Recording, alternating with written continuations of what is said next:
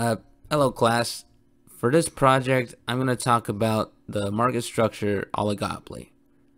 The theory regarding oligopolies is that 1. There are few sellers and many buyers. 2.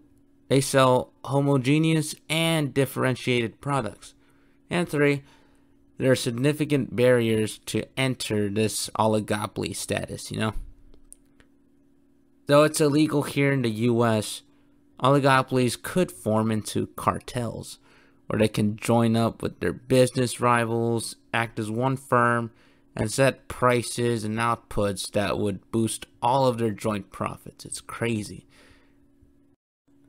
Uh, for example, Google is one of the more prominent oligopolies that we see today. Even though it isn't a monopoly despite its size and all that, Google has control over a lot of goods and services that consumers use today. Statistics show that as a search engine, Google makes up over 90% of all searches on a desktop computer, and they answer to around 3.5 billion searches daily. It's nuts.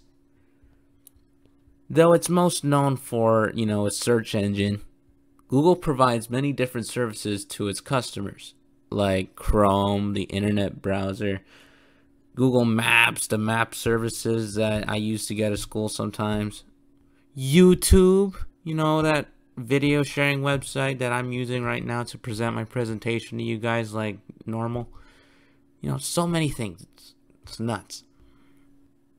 To verify Google as an oligopoly, the top three, four firms in the industry must make up almost the entire market, with a concentration ratio at around 60 90% between them. Looking at the net market share for search engines online, the data shows that Google makes up, you know, 84% of the market, followed close behind by Baidu with a whopping 7% looking at the data, it's safe to assume that these firms are oligopolies. As we saw how Google has a great variety of products and services, there are firms and entities that operate within this oligopoly's grasp. As an example, let's look at Android.